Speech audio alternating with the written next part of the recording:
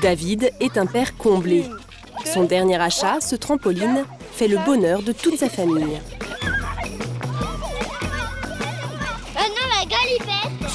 Son plaisir à lui, c'est de l'avoir déniché au meilleur prix. Si j'avais pas fait attention, j'aurais pu le payer 500 euros. Donc euh, deux fois le prix que je l'ai acheté réellement, en passant 5-10 minutes sur Internet, euh, bah voilà, j'ai économisé 250 euros. c'est rentable. Très, très rentable. Depuis trois ans, il ne peut plus s'en empêcher. Avant d'acheter, il cherche toujours la meilleure offre sur Internet. Il y a eu cette chaîne IFI que j'ai acquise à 250 euros et dans certains distributeurs, euh, ça montait jusqu'à 400 euros.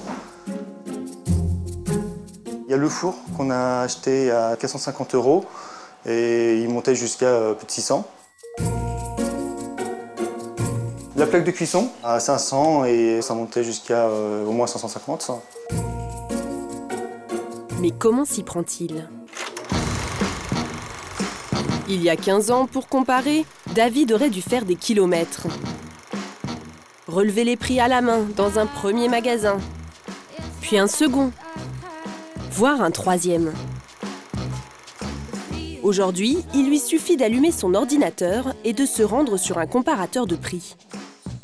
Ces sites recensent les tarifs de milliers de produits accessibles en ligne. David est à la recherche de chaussures de course pour son épouse Magali. J'ai mis 38,5 en pointure. Sur un site spécialisé, il repère un modèle à 70 euros. Euh, je vais aller regarder si, euh, bah, si ce site-là propose le meilleur prix ou si je ne peux pas encore trouver moins cher ailleurs. Je vais venir sélectionner le nom de la chaussure. Il rentre les références de la paire de baskets dans un comparateur de prix. le même modèle lui est proposé par différents vendeurs. Et hop, arrive en tête de liste la chaussure qui nous intéresse à 49,91 euros. Donc 20 euros moins cher que notre prix de départ. C'est bien eh bien, ça me semble bien. Ça veut dire qu'il va falloir vraiment que j'ai plus d'excuses. Il faut vraiment que je recommence à courir. Pour David, plus qu'un jeu, c'est une nouvelle façon de consommer. Presque une addiction. Euh, maintenant, je ne peux pas concevoir l'achat d'un produit d'une certaine valeur sans passer par un comparateur. C'est pas possible.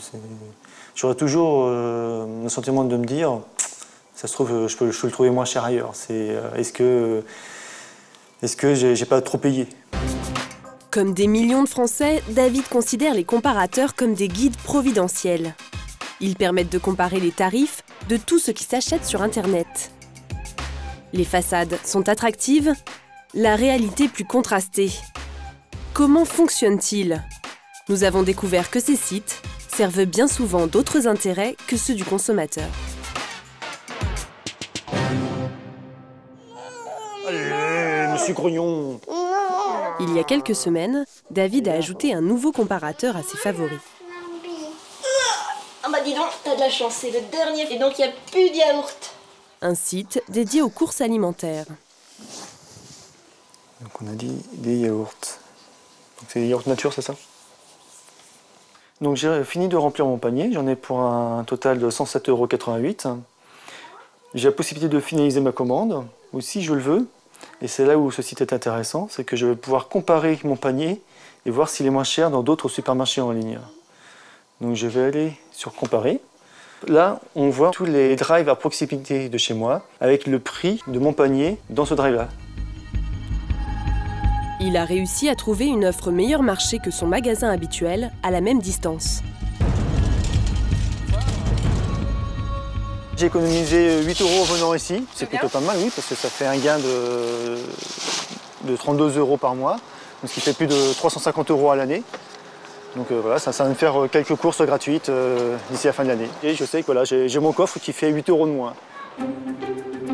Les comparateurs de supermarchés permettent-ils toujours de faire de bonnes affaires?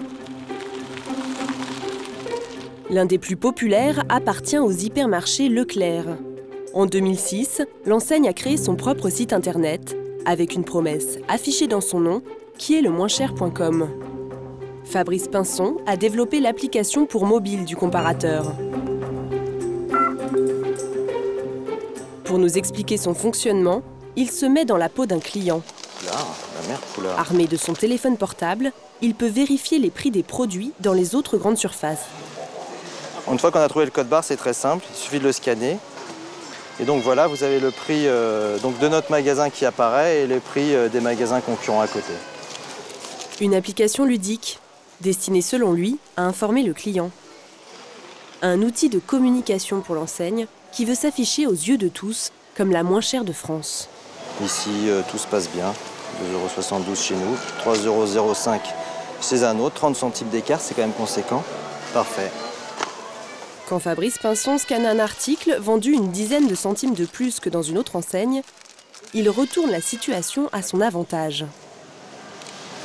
Alors voilà, vous avez le prix euh, de notre magasin, donc 2,012 ici. Vous voyez que sur ce produit-là, donc, il est moins cher chez un concurrent.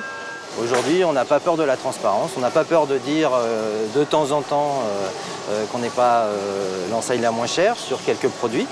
Donc il reste des produits où on peut être parfois, mais de façon très exceptionnelle, plus cher que nos concurrents.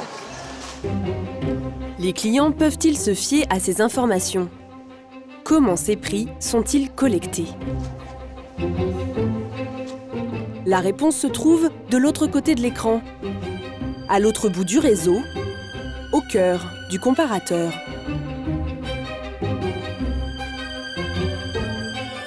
C'est ici que se prépare la bataille des prix.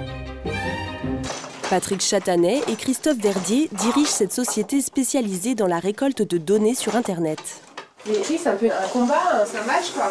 Le combat, c'est pas nous qui le menons, on ne fait que, relever les prix. Arbitre Ah non, non, non, non, non, surtout pas. On n'est pas, on pas arbitre.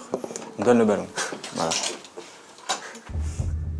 Ces ingénieurs sont chargés de fournir à Leclerc tous les prix pratiqués par ses concurrents.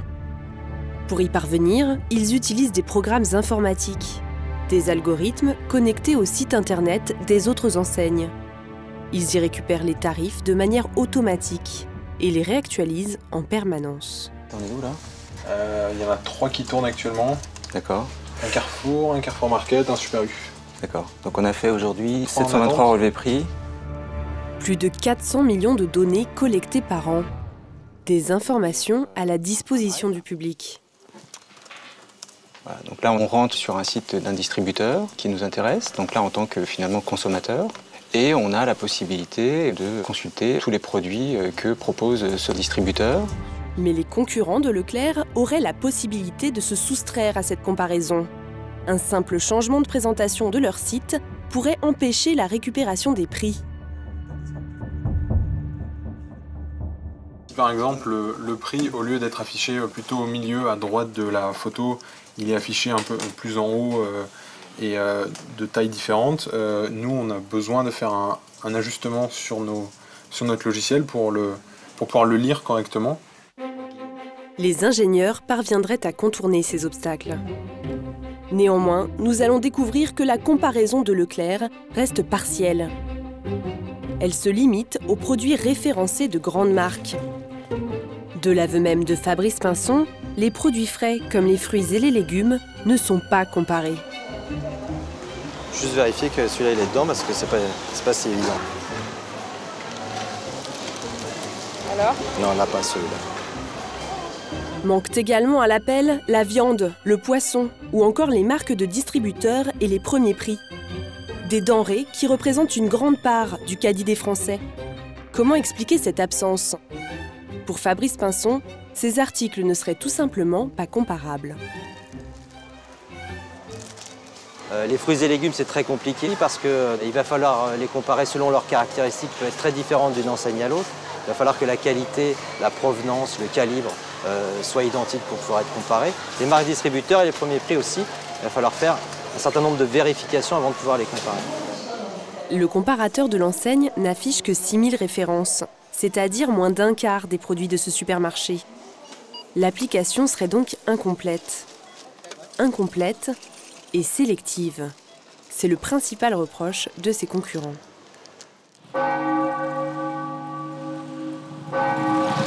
Pour nous en convaincre, la direction d'Auchan nous a donné rendez-vous à Arras, dans le Pas-de-Calais.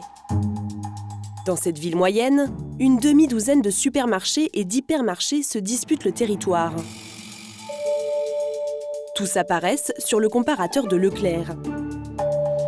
Pour Vincent Mignot, le directeur général d'Auchan, les informations sont biaisées.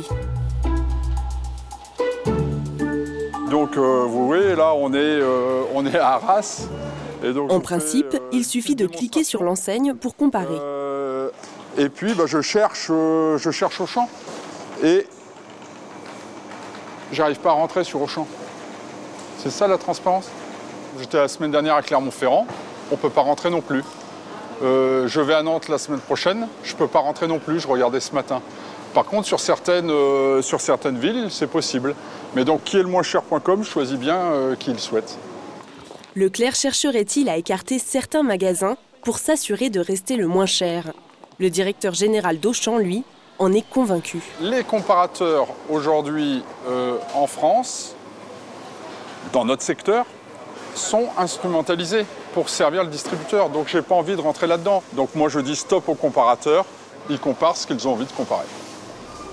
Pour le moment, Leclerc n'a pu référencer que 2000 magasins, un peu plus d'un quart des grandes surfaces françaises. Pour expliquer ce chiffre, l'enseigne invoque des raisons techniques. Le comparateur est devenu une arme dans la guerre des prix. Pour ne pas perdre de terrain, d'autres distributeurs ont contre-attaqué. Aujourd'hui, on prétend tous être les, moins, chers. Exactement. C'est évident. Alors comparons, mais comparons vraiment tout. Par exemple. Difficile pour le consommateur de s'y retrouver quand chaque magasin se présente comme le moins cher. Surtout moi. Pareil. Nous avons voulu tester un autre comparateur initié par Carrefour. La garantie prix le plus bas Carrefour, c'est toujours sur 500 produits de grande marque. Et en moyenne, sur le total de ces 500 produits, Leclerc est plus cher de 4,4% et Intermarché plus cher de 10,6%. Chez Carrefour, la comparaison est basée sur les prix de 500 produits sélectionnés et relevés à une date fixe. Quel crédit accorder à ces conclusions? Olivier Dauvert a étudié ce comparateur à la loupe. Ce journaliste va nous démontrer que le choix de ces articles est stratégique. Là où c'est évidemment très malin, c'est comment cette liste a été construite. C'est quasiment de la chirurgie. Selon lui, une grande partie de la sélection de Carrefour n'est pas représentative du caddie moyen. Sur les boissons gazéifiées, par exemple, euh, sur une marque de soda qui est bien connue et qui en général est à l'orange ou au citron, eh bien vous voyez que dans la liste, il y a notamment le parfum fraise kiwi. Le parfum fraise kiwi, c'est celui-ci, vous voyez, fraise kiwi, c'est pas forcément le produit le plus important de la gamme, mais c'est sans doute un produit sur lequel Carrefour était bien placé en prix et le savait ce qui lui permettait du coup d'améliorer sa moyenne. Ensuite, vous avez euh, d'autres produits. Vous voyez, là, vous avez trouvé euh, de la sauce soja. Bon, la sauce soja, avec tout le respect que je peux devoir à cette marque-là, est-ce que c'est une absolue grande marque? On peut en douter, c'est sans doute euh, moins important que du camembert ou une bouteille de lait. Mais sans doute que cette marque était présente parce que Carrefour avait un bon accord commercial qui lui permettait d'être plutôt bien placé en prix. Là où Carrefour a, entre guillemets joué avec sa liste, c'est en proposant des formats, c'est-à-dire des conditionnements qui ne sont pas nécessairement les formats les plus vendus ou en tous les cas les plus importants sur le marché. Vous voyez, quand vous achetez cette eau gazeuse, bah, le format qui est dans la liste, c'est 8 petites bouteilles de 20 centilitres. Si on compare avec le niveau de vente de la bouteille d'un litre, c'est évidemment pas pareil. Donc là, euh, la marque est. Incontestablement, c'est une grande marque. Mais est-ce que c'est vraiment un grand produit dans la grande marque? Les comparateurs de prix sont une arme dans la guerre que se livrent les supermarchés. L'objectif de toutes les enseignes, c'est que le client pense qu'elles sont moins chères sur tout et tout le temps, pour ensuite que les clients viennent chez elles. Donc l'objectif du comparateur, c'est bien de mettre dans la tête des clients que le bon endroit pour faire les courses, c'est dans ce magasin précisément. Difficile de se fier aux comparateurs de la grande distribution. Sur la toile, il existe des dizaines d'autres sites qui comparent les prix de tout ce qui peut s'acheter sur le net. Ils se présentent comme des guides d'achat, des intermédiaires permettant aux internautes de réaliser des économies. Ils ont bouleversé les habitudes de consommation, comme celle de Karine et Léa. Dans 48 heures, les deux sœurs vont investir cet appartement flambant neuf situé à Lille. Donc là, il y a le salon, salon salle à manger, donc c'est assez vide. Euh, pour l'instant, il y a très peu de meubles, il n'y a qu'un canapé et euh, une table basse à, à monter. Il nous manque Pour le moment, il leur manque même l'indispensable, une machine à laver et un réfrigérateur. Donc le frigo, il va aller dans la cuisine. Je pense qu'on peut le mettre là. Il y a largement de la place de mettre un, un frigo ici. Moi, je pense de toute façon, il faut un grand congélateur. Les deux sœurs ont une idée précise de ce qu'elles veulent. Elles disposent de moyens limités. Avec les frais liés au déménagement, elles souhaitent s'équiper au meilleur prix. bien remplir. On a un budget qui va être à peu près 800 euros pour maximum, grand maximum. Si on trouve moins, c'est toujours mieux. Pour le frigo et la machine à laver. Karine et Léa partent en repérage dans une grande enseigne d'électroménager. Elles n'ont pas l'intention d'acheter.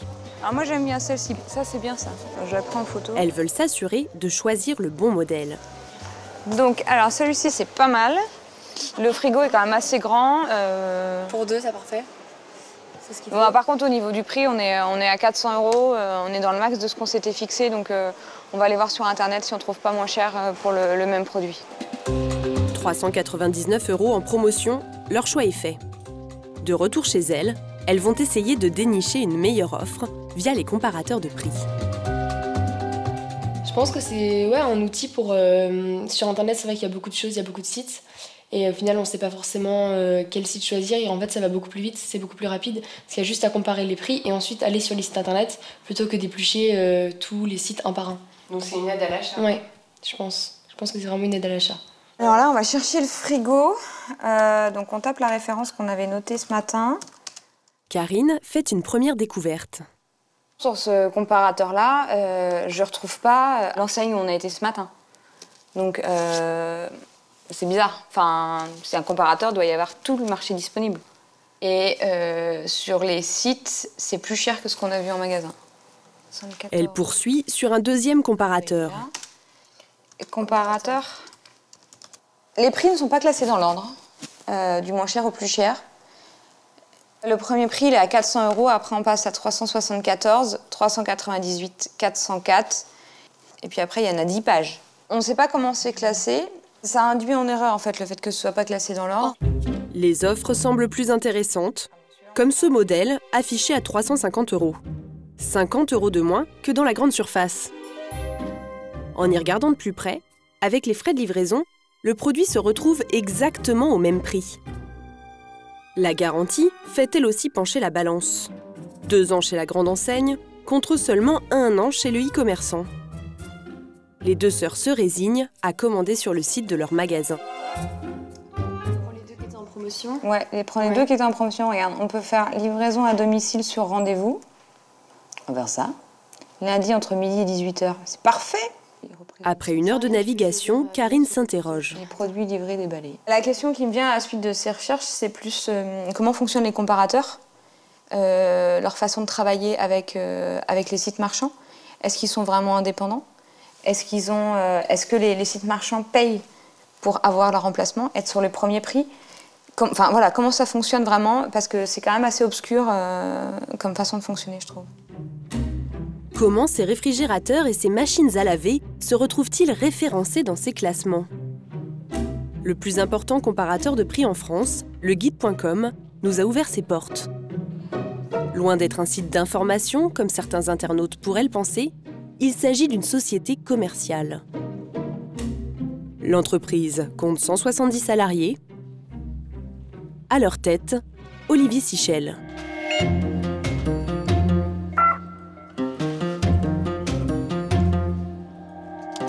Tous les jours, on a plus de 300 000 internautes qui, dans la journée, vont se connecter sur guide.com. Donc c'est à peu près l'équivalent de la ville de Nice, c'est énorme. Et puis là, c'est le cœur vraiment du réacteur nucléaire de guide.com, c'est toute la partie euh, développement. Ici, pas de fin limier qui traque les meilleurs prix. Ce sont les marchands qui fournissent leur catalogue de produits et qui payent pour apparaître dans les listes. J'ai reçu un nouveau site. Ah oui? Il n'est pas encore euh, validé. Avec plus de 20 millions d'offres, le guide.com est une immense galerie commerciale virtuelle. Les commerçants rémunèrent le comparateur de prix en fonction du nombre d'internautes qui sont aiguillés vers leur site. Le guide.com est gratuit pour le consommateur. Le consommateur ne paye jamais l'utilisation du guide.com et d'un comparateur de prix. Il faut bien qu'il y ait quelqu'un qui paye pour tous ces services et c'est le marchand qui paye. Le marchand paye avec un système qui s'appelle le coût par clic. Quand un internaute repère une cafetière sur un comparateur, il la sélectionne en cliquant sur l'annonce. Il est redirigé vers le site d'un commerçant.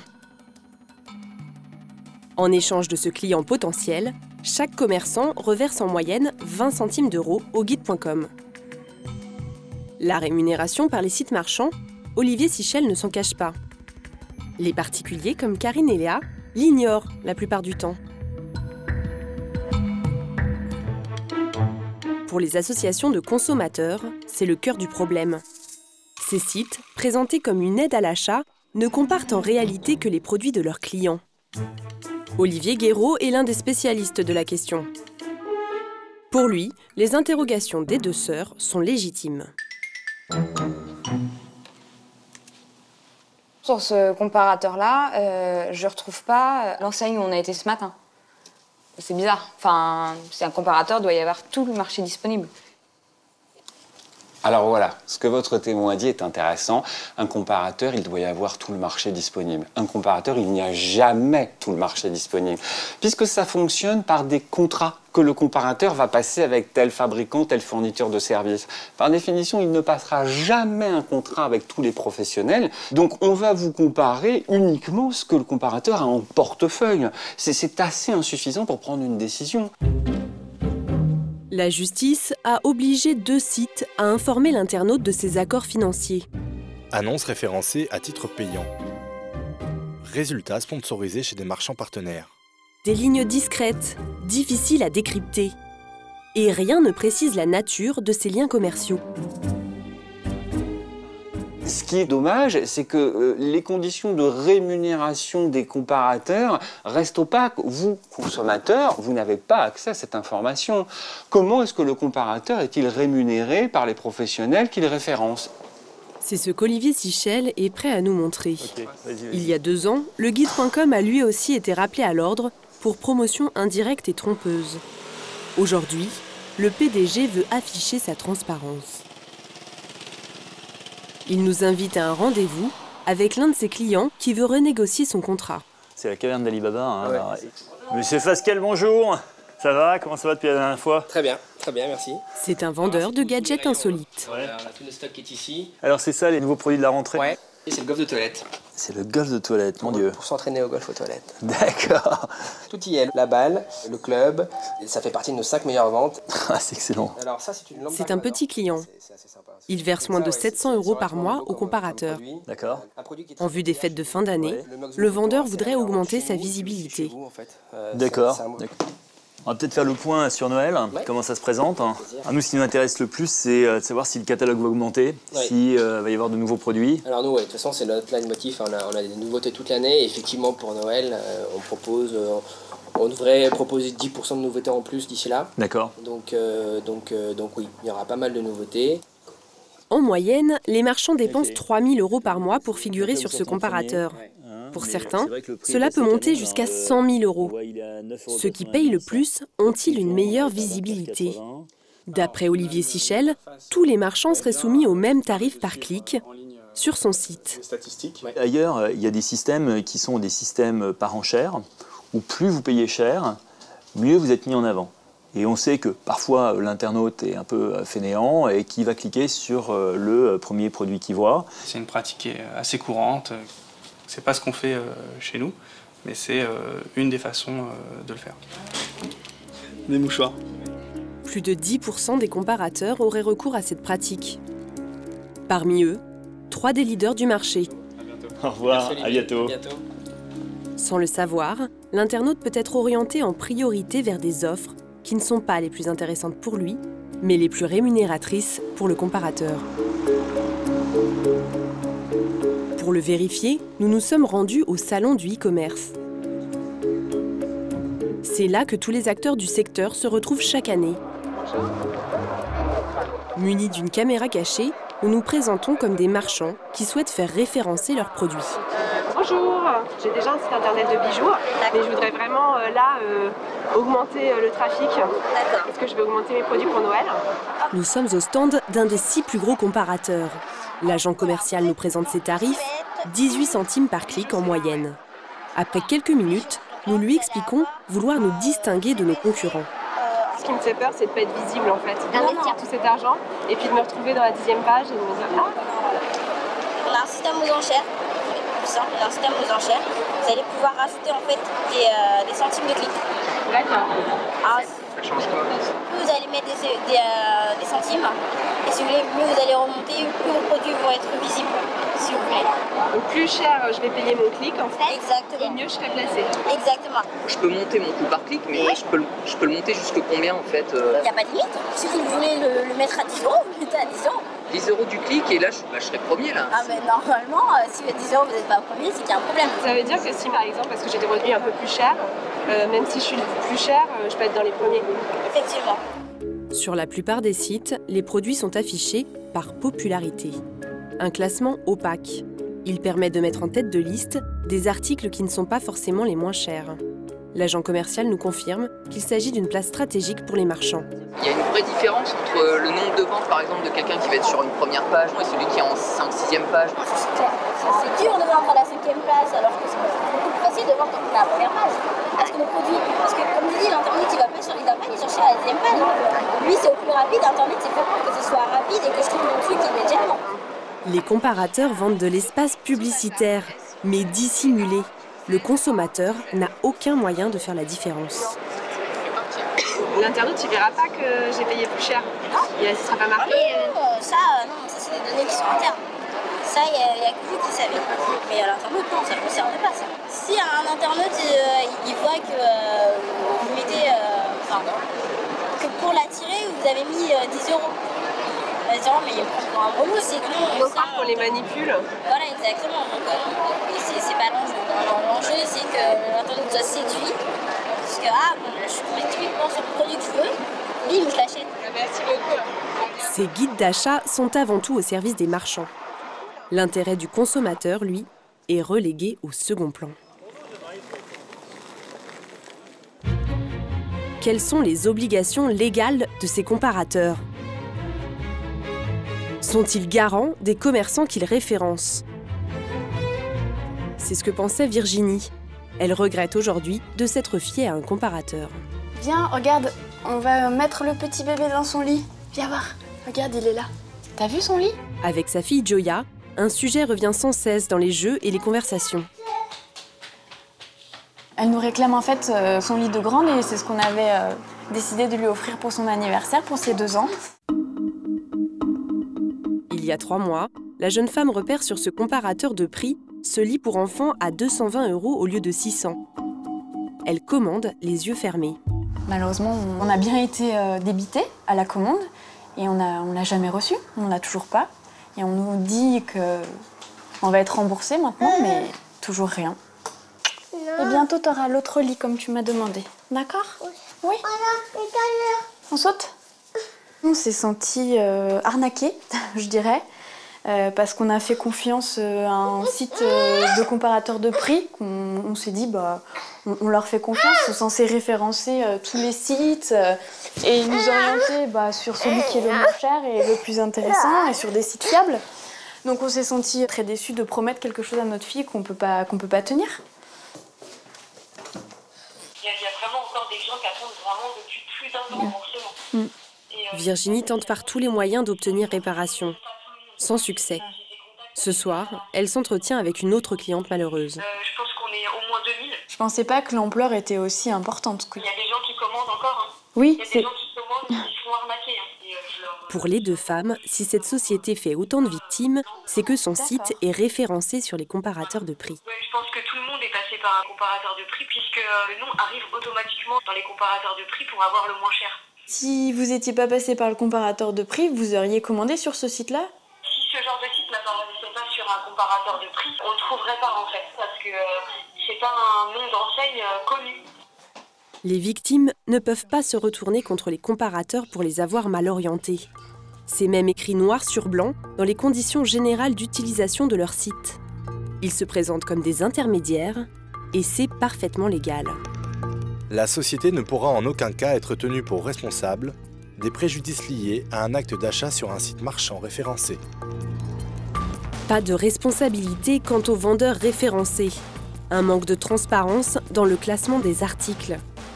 Face aux limites de certains comparateurs, comment trouver le meilleur prix en toute sécurité? Et si la solution venait des internautes eux-mêmes?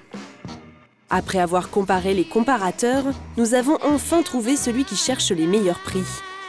Tous les soirs, celui qui vient à la rescousse des internautes, Coucou ma chérie c'est François. Il se présente comme un chasseur de prix.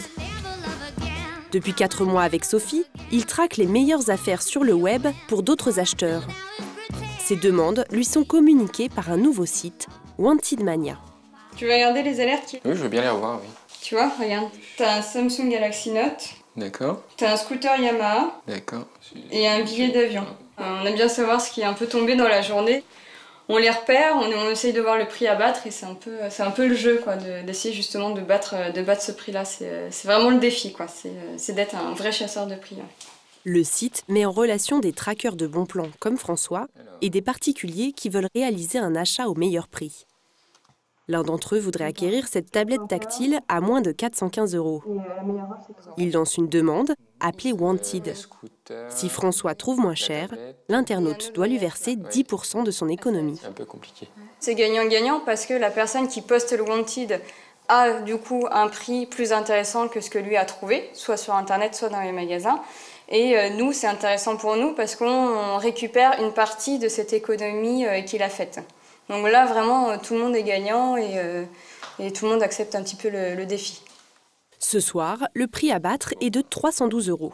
C'est parti. Il Ouais. me reste euh, une demi-heure avant la fin du Wanted. D'accord. Pour dénicher la meilleure affaire, François et Sophie ne se rendent pas sur les comparateurs de prix. Ils préfèrent naviguer directement sur les sites des constructeurs et des marchands pour obtenir des bons de réduction et des offres de remboursement. De 100 euros. En fait, il a Des promotions que les comparateurs de prix ne prennent pas en compte. Il ne nous reste plus que 10 minutes, si je ne me trompe pas. Je copie-colle. François réussit à trouver une meilleure offre que les autres chasseurs de prix.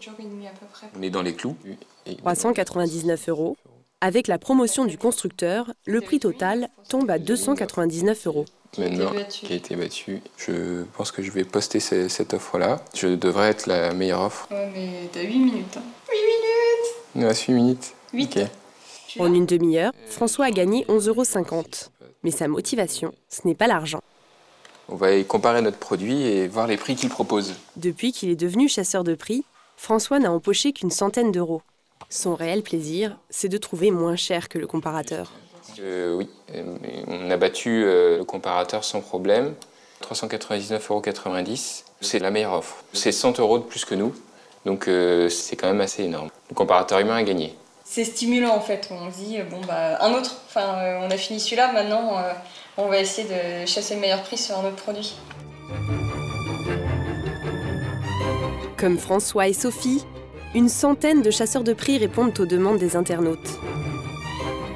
Une goutte d'eau par rapport aux recherches traitées par les comparateurs.